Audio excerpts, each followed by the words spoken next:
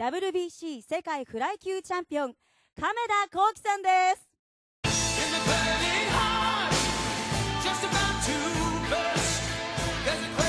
うぞ皆様大きな拍手をお迎えください。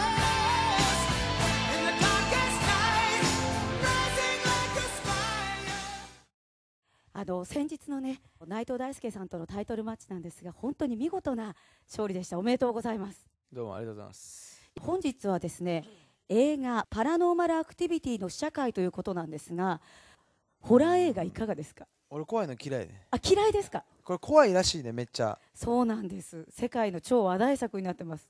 まあちょっと覚悟してみますわ。はい。もうあの映画上映後にね亀田さんがどんな顔をなさっているのかあのスタッフ一同楽しみにしておりますので。多分あの顔真っ白になってんちゃう？そうですか。うん